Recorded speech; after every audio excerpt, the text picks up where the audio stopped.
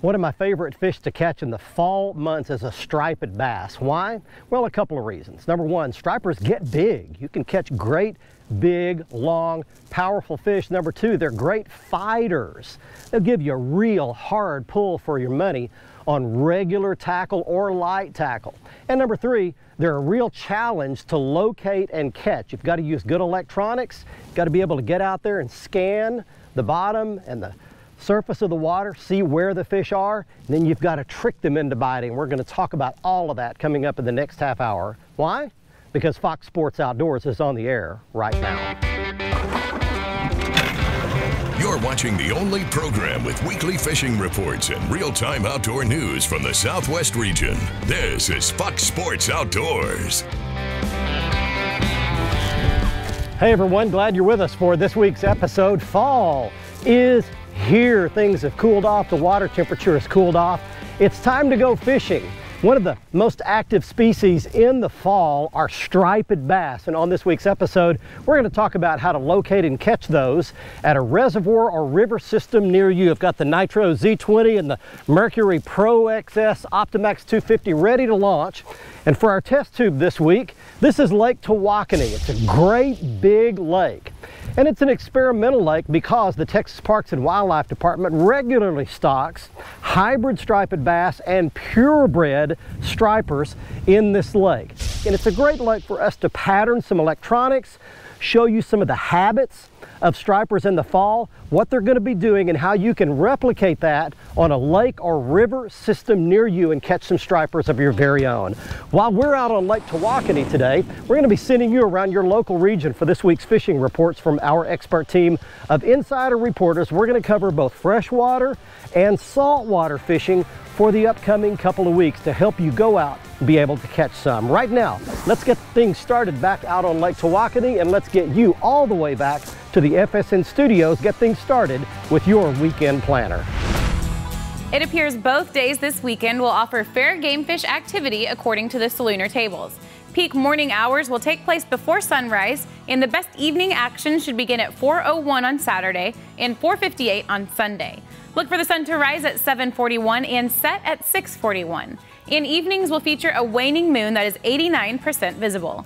Stay with us for freshwater and coastal fishing information from around the region. Plus, I'll return with 2015 Bassmaster Classic champion Casey Ashley with this week's Ask the Pro question. We're coming right back. Fox Sports Outdoors is brought to you by Motor Guide's new wireless and easy to use XI3. Exide batteries powering the world forward.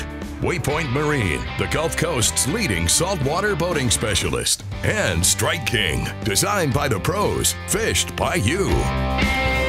Let's show you off a little bit. There we go. Well, there's a start. Welcome back, everybody. We've made it out.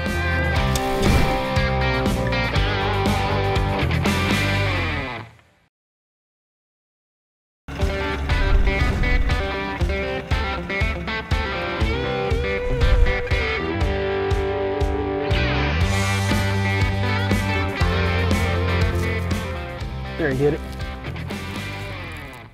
There's a striper. Come up here, buddy. Uh-uh. Come up here, Podna. Well, we are off to a start. Look at that big old splash. He's pulling drag. He's got a mouthful of my big old spoon. Oh, yeah. Come up here. Let's show you off a little bit. There we go. Well, there's a start. Welcome back, everybody. We've made it out. And that one is a feisty dude right there now. He's got treble hooks all in his snoot.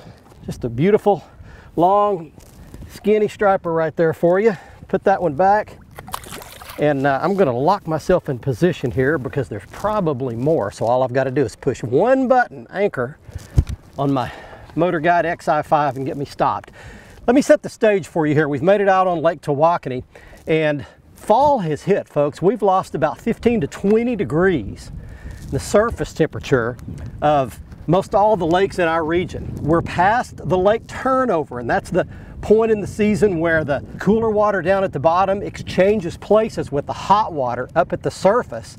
And now these fish are gonna go to feeding. they haven't fed real well all summer. Stripers in the summertime typically feed twice a day. They feed early in the morning, first daylight, and late in the evening, the last light. Now we've turned the page into fall and these fish will feed all day long. We're already up in the midday, early afternoon hours, and you can still catch stripers this time of the day because the water's cooler and they're feeding all day long. Stay with us. Gonna get re-rigged here. We're off to a start. Cooler water, cooler weather, football season in full swing. What can be better? Good fishing in the fall. Hi, folks. This week's Lone Star Lakes is brought to you once again by the good folks at Breckland Ranch, who remind you not only do they have spectacular hunting opportunities, but they can handle your corporate outings and weddings as well. Now, this week we're going to do something a little different. I get a lot of folks asking about kayak fishing. Kayak fishing is one of the fastest growing portions of the fishing industry, and there are some great places in Texas to do just that. We're going to start with Palo Pinto Mountain State Park, the newest state park in the Texas Parks and Wildlife System. It's got little 90 acre Lake Tucker, which has been recently stocked with catfish by Parks and Wildlife and has some good bass fishing. Now, there are no facilities, no amenities, not even a boat ramp. So, your kayak, your canoe, or your small aluminum boat are about the only ways you're going to get out on this lake. Cat fishermen can fish from the bank. Use your cut baits, use your prepared baits, stink baits, and so forth. Bass fishermen, you'll want to use top waters, Senkos, spinner baits, and your jigs to work the reeds that line the banks and the rocks up near the dam. That's this week's Lone Star Lakes, brought to you by the good folks at Breckland Ranch. Be sure and check us out on Facebook, Lone Star Lakes. Hey folks, Captain Greg Varm here with this week's Fox Southwest Outdoors Report. Hey, we're going to start this week's report over in Sabine. Up in North Sabine, lots of bird action. And with each passing cold front, more shrimp and bait fish will be flushed from the marshes and the birds will tell us where the trout are feeding. Soft plastics and live shrimp under a popping cork have both been successful. However, many times if you're catching lots of schoolies, tie on a big topwater. I like a Rapala skitter walk and many times the smaller fish will leave it alone and the bigger trout will attack it. Also in North Sabine, we have redfish in the marshes as usual. When the winds of fall make it tough to work the birds in the main lake, tuck back in the marsh and find the mullet working the shorelines and the redfish aren't going to be far. Now let's move over to Bolivar. I'm going to talk about a great place for our non-boating anglers to enjoy some amazing fishing in the fall. Rollover Pass is hot right now. Redfish, both slots and bull reds. Also, we're beginning to see the start of the overly anticipated fall flounder run. Both soft plastics and live mullet are working great over at Rollover. Fall fishing has finally arrived. Water temperatures are finally falling and amazing things are happening up and down the coast. Remember, if you want to go fishing or duck hunting, Galveston or Freeport, and also remember we have lodging at Bay's Landing, give us a call, numbers on your screen, or check out our website. Hey, I'm Captain Greg Worm. I'll see you guys next time. You catch one species and you've got a chance to catch all three on back-to-back-to-back casts. There's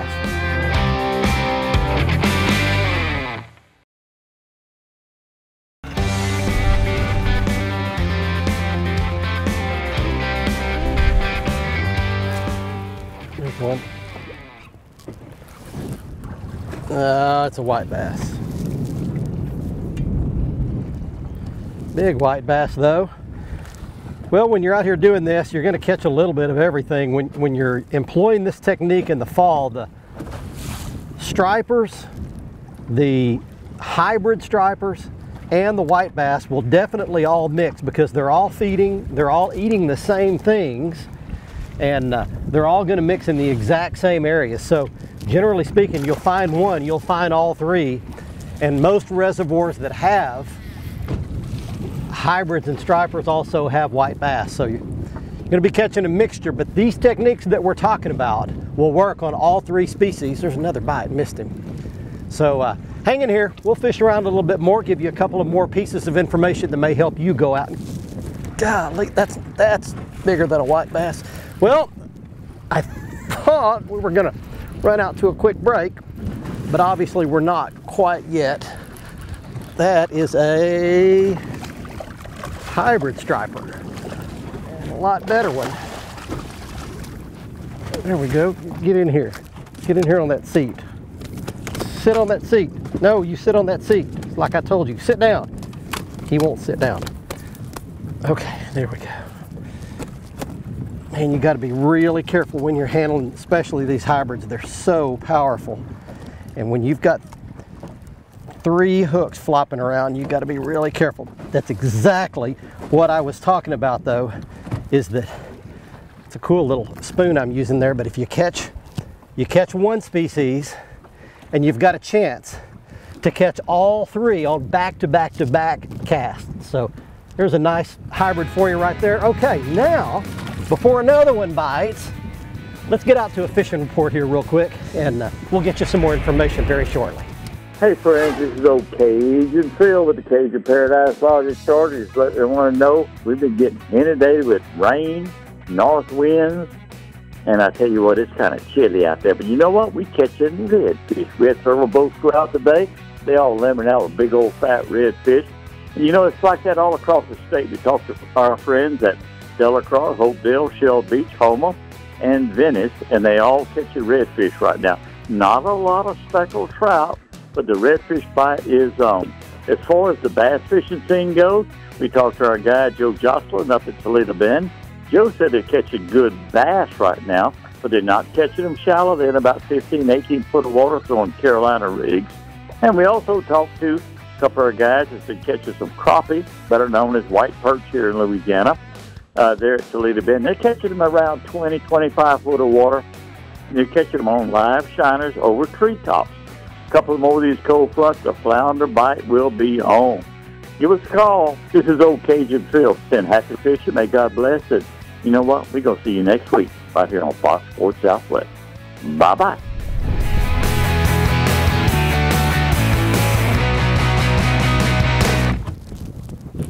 There's one got it. Let's see what I got this time. Oh, it's a white. It's a white. Well, hang with us. We're catching everything, man. I tell you, this the swimming up technique's working for all three species. And the fish seem to be aggressively feeding.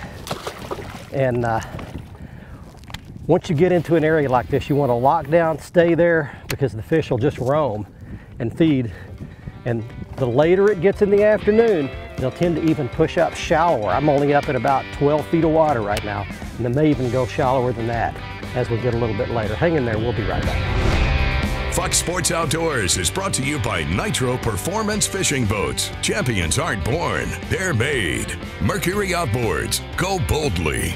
Gulf Shores and Orange Beach, Alabama. Plan your fishing vacation and catch the details at orangebeach.com slash fishing. And Lowrance and the new Hook 2, the world's easiest fish finder. Push your button, let it go back to the bottom. I'm doing actually something a little different today than I normally do. There's one.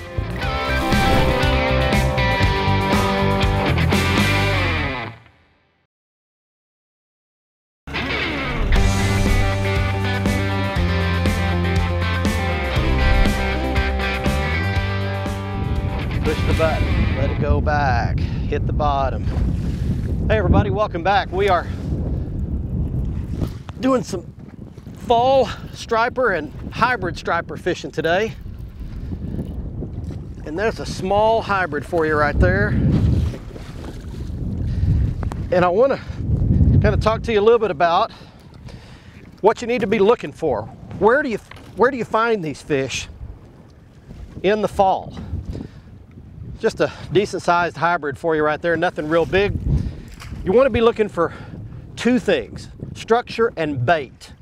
So the structure is that we're on a big, long underwater ridge out here. You want to have something where the stripers and hybrids can herd the bait, push them up shallow onto some sort of an upslope. And you want that upslope in the fall to be fairly shallow. You want it to be 8, 10, 12 feet deep, something like that, falling off into 25, 30, 40 feet of water. And then secondly, you want to find bait. So I'll show you on the graph, on my chart, on my Lowrance Elite TI here. Then I'll show you on my other Elite TI, you can see these big balls of shad, big balls of bait fish. And they're herding those balls of shad up the sides of these humps. And you can literally just catch all three species throwing back right in the exact same area. Find those two things, structure and bait, and you'll find them in the fall.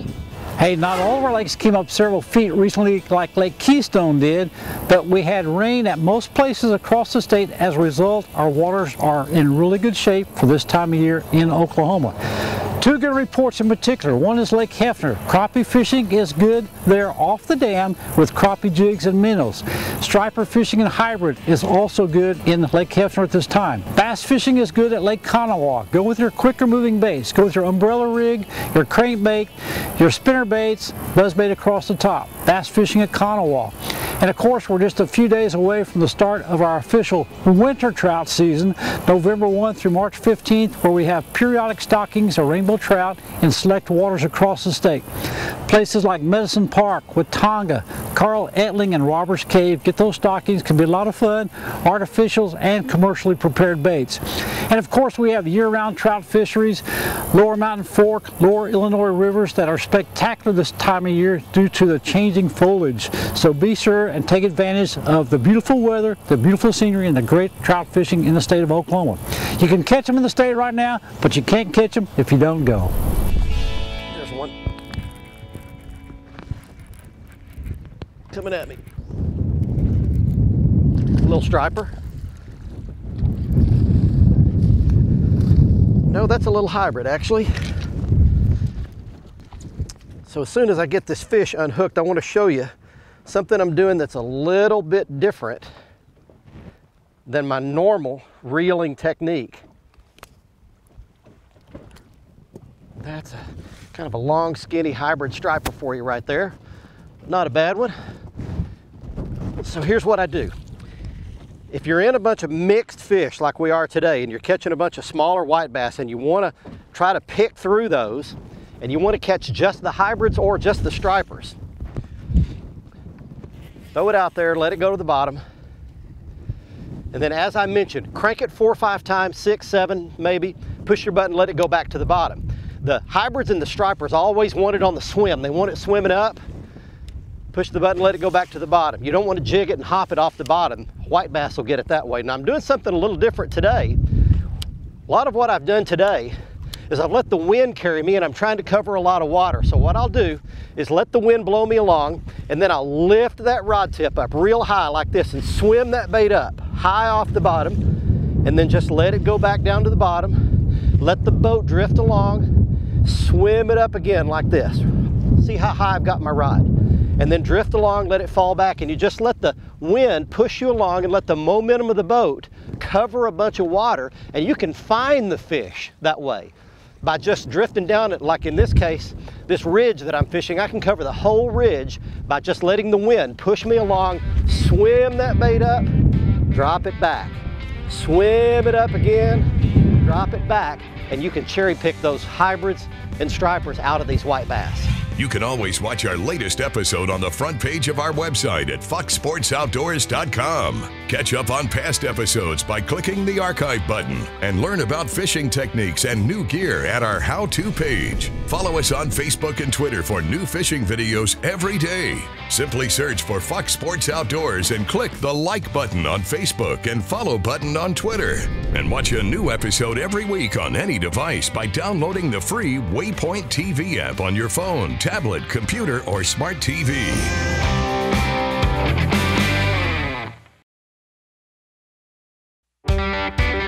Fox Sports Outdoors is brought to you by Lew's. Feel the difference. Gene Larew and Bobby Garland. We know bass and crappie from heads to tails. And by Glacier Glove. Stay outdoors longer with our gloves, hats, and shades.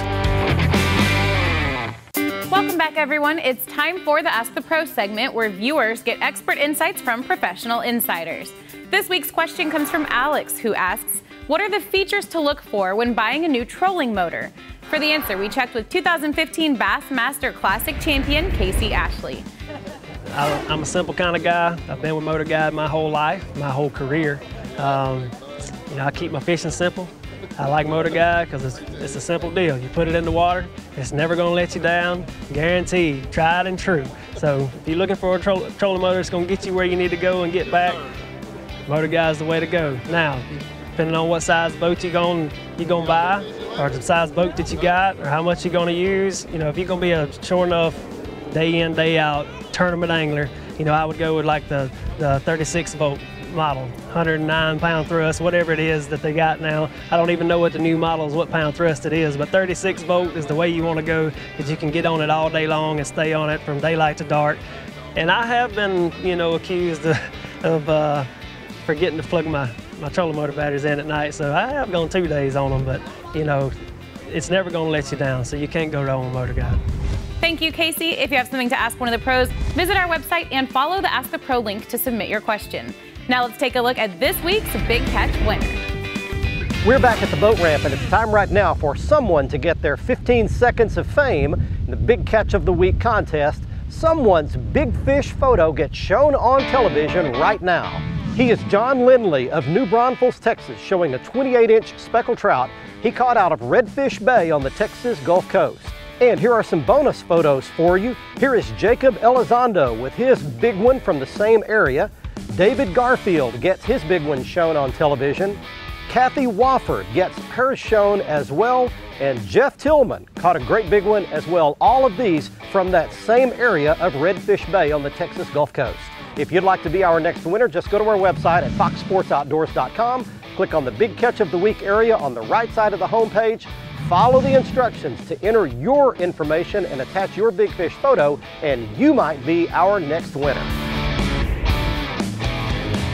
Next up on the gear segment, here's some of the gear you'll need to catch stripers and hybrids in the upcoming fall and even the winter months. You need some beefy tackle. This is the Lew's Team Lew's Custom Pro Speed Stick, and this particular one is 7 foot 11 inches long. It's got a lot of good heavy action here in the base of it, but a nice flexible tip as well. You can make big long casts with these swim baits and these spoons like we were throwing today. And I've got it paired with the Team Lew's Hyper Mag casting reel. You can cast these baits a mile with this reel. It's the best reel in the Lew's lineup that I've fished thus far. Now, as far as the baits are concerned, here are the ones that I would have handy on my rods and on my casting deck anytime I'm fishing for these fish. It begins on your left with a swim bait. That's about a half ounce to a one ounce lead jig head with a Gene Larew Sweet Swimmer rigged on the back of it. A lot of action in that tail. Then I would have a couple of spoons. That's about a three quarter ounce jigging spoon or a slab type bait, that chartreuse one. The next one over is a much bigger bait. That's about a four and a half or a five inch long heavy jigging spoon. And then the next one is a Strike King Series 5 deep diving crankbait. Will dive 12, 14 feet, which is perfect for stripers and hybrids in the fall. No one gets through life without going through some kind of a rough patch or a difficulty or even a tragedy or a crisis. We as humans, when we get in those circumstances, we tend to either whine or blame or look for some kind of sympathy. Wise people I know do something very unusual. They look for what it is in that circumstance that they can learn from and that can make them a better person. It just may help them out the next time they encounter a similar difficulty. I heard a very wise person at one point say you can learn much more during life's trials than you ever can during life's triumphs. I hope you enjoyed our trip today to Lake Tawakoni, one of my favorite striper, hybrid striper lakes in the entire region. And if you'd like to book your very own trip to catch these fish at this reservoir, you can do so by contacting Michael and Terry Littlejohn, the information you see on your screen. They stay on top of the stripers, hybrids, white bass, and during the winter months, the trophy blue catfish that swim out there. They get to be huge in this lake. You would enjoy a trip with some really nice folks. They've got an entire team that guides for them, and you can contact them at the information you see on your screen. Thanks for joining us this week. I hope you learned something that will help you catch these stripers and hybrids. They'll be on these patterns all the way through the fall and the early winter months until it gets really, really cold. Till next week, I'm Barry Stokes saying be safe, have fun. Bye-bye, y'all.